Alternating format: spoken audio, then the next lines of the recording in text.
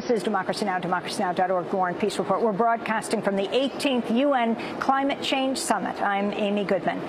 The billionaire brothers Charles and David Koch are known for funneling vast donations into Republican campaigns in the United States. But what impact are the Koch brothers having on global warming? As the U.S. is accused of blocking progress here at COP18 talks in Doha, a new report says the Koch brothers may be the biggest force behind the climate stalemate. The Koch brothers run oil refineries and control thousands of miles of pipeline, giving them a massive personal stake in the fossil fuel industry. But researchers say they've also funneled tens of millions of dollars into climate denial science, lobbying, and other efforts to derail policy that could lessen the impact of global warming. The report is called Faces Behind a Global Crisis crisis, U.S. carbon billionaires and the UN climate deadlock.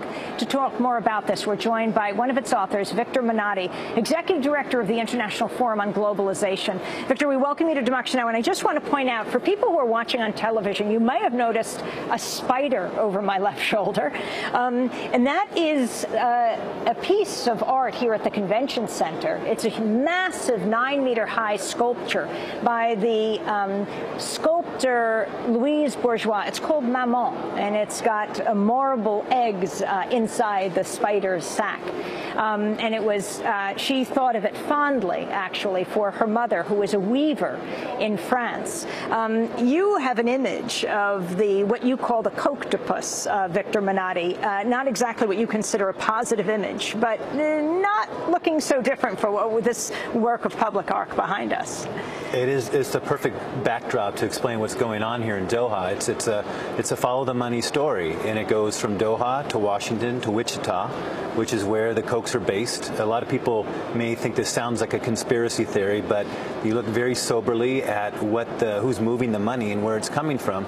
These two brothers, Charles and David, are now the world's wealthiest individuals. Their their combined net worth now exceeds that of the world's wealthiest man, Carlos Slim and they have spent more than anybody, more than any gas and oil company, more than even Exxon, in campaign contributions. The richest men are number one. Uh, Carlos Slim. Number two.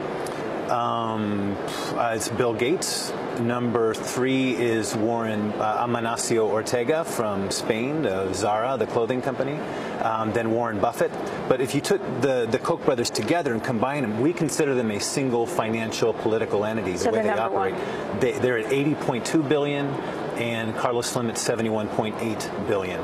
So they wield their wealth to really stop the process in the U.S. for phasing out fossil fuels. They've spent more than anybody on uh, campaign contributions, lobbying expenditures, uh, climate denial science, and we're not saying they are the only force. They are part of the fossil fuels complex, but they are the financial force and the ideological leaders of the counter movement.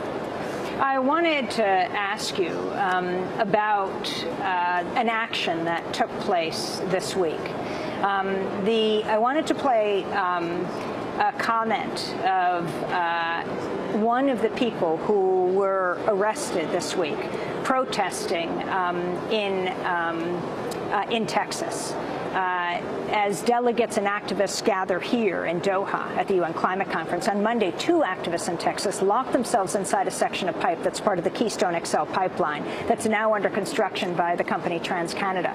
The pipeline would carry crude oil from Canada's tar sands to the U.S. Gulf Coast. A project opponents say would produce lethal levels of carbon emissions while endangering communities along its path. President Obama now faces a decision about the pipeline's approval after laying it until after the 2012 election. The section of the pipe pipe where activists locked themselves would run less than 100 feet from homes near Winona, Texas. This is Matt Almont speaking in the dark from 25 feet inside the section of pipe after he locked himself between two barrels of concrete weighing over 600 pounds each. So, the first night being here in this pipe. Um, and uh, basically, we've set up shop here. Uh, I feel it's very important for people to feel empowered to take action against resource extraction.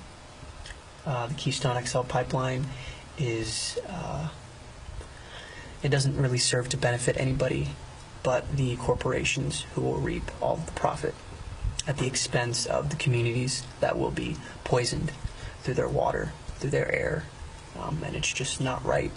And I wanted to plant myself in the middle of that fight. That was activist Matt Almont speaking 25 feet inside a section of the Keystone XL pipeline. He and two others were later removed from the pipe by police and charged with resisting arrest, criminal trespassing, and illegal dumping. Uh, Victor Menotti, what is the Keystone XL pipeline, which thousands have protested and many have been arrested for in front of the White House in the last year? What does it have to do with the Koch brothers? The 25% uh, of the current tar sands imports they process already. The Kochs uh, have vast holdings in Canada and tar sands territory. They they already have uh, some of the networks of the pipelines, the refineries existing in, in Corpus Christi. We call it the Koch Keystone Pipeline. Your final conclusions as you finish this U.S. carbon billionaires and the UN climate deadlock? Um, that the world needs the United States to mobilize around uh, the force of these Koch brothers um, to get private money out of politics and to isolate their extreme elements in the Republican Party. It's, these aren't all conservatives thinking this way. These are extremists and they need to be isolated. Victor Menotti uh, with the International Forum on Globalization, Faces Behind a Global Crisis, U.S. Carbon Billionaires and the UN Climate Deadlock is his uh, report. And we'll link to it at Democracy Now! Thanks so much for watching this report from Democracy Now!, your daily independent global news hour. We don't accept advertising or corporate funding, but rather rely on donations from viewers like you. Please make your contribution by visiting democracynow.org. We need your support today to keep bringing you this hard-hitting, in-depth reporting.